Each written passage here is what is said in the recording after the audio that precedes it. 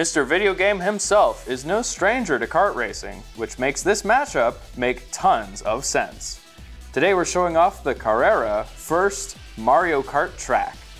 Before we start our engines, make sure to subscribe to the channel and ring that notification bell.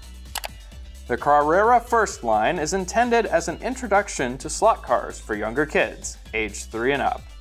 The power source is four C batteries, not included, with the lid securely screwed on top, rather than a power cord. The controllers are also smaller, and top speeds are slower, but I'm getting a little ahead of myself.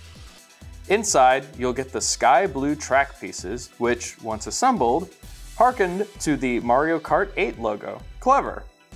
You'll also get two controllers, some card stock cutouts for spinners and barriers, an optional giant cardboard cutout on the back of the box for even more decor, and two carts, one Mario and one Yoshi.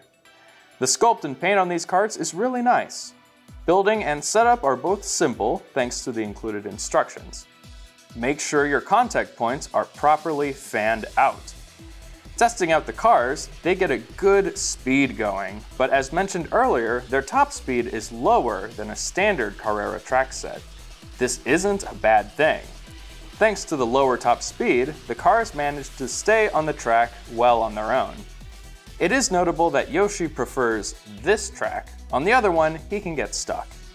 Also, Mario seems to be ever so slightly faster for whatever reason. But in the excitement of carts zipping to and fro in a figure eight, you'll hardly notice. Who's your go-to Mario Kart character? Tell us down in the comments. The Carrera First Mario Kart track set has great pros. The carts of Mario and Yoshi look one-to-one -one accurate with the iconic Nintendo characters. The setup is quick and easy, the speed gets going pretty fast, but also, it's easy to control thanks to the lower top speed. Best of both worlds. The spinners also add a nice bit of flair to the set. Cons include the occasional times where the Yoshi cart gets stuck on one of the tracks, and a lack of included batteries. Mario also travels slightly faster than Yoshi for those who are keen to keep track. Despite these factors, it's still a fun toy and a nice intro to slot cars for younger kids. So we give the Carrera First Mario Kart Track Set 4 out of 5 stars. Thanks for watching.